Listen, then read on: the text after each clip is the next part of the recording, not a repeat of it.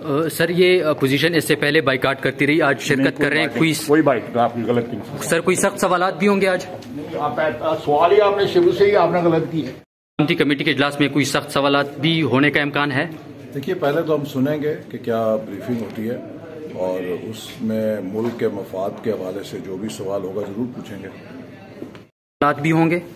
जी शबाज शरीफ साहब बात करेंगे जो भी मौका देंगे। इजलास में शिरकत कर रही तो क्या तैयारी करके आए हैं? कोई सख्त सवाल भी होंगे आज? ये दूसरा इजलास है। आज से तीन माह पहले भी अपोजिशन इसी इजलास में बैठी हुई थी क्योंकि इन कैमरा होता है तो जो बातें होंगी, मेरे ख्याल में ये अंदर ही रह जाएँगी।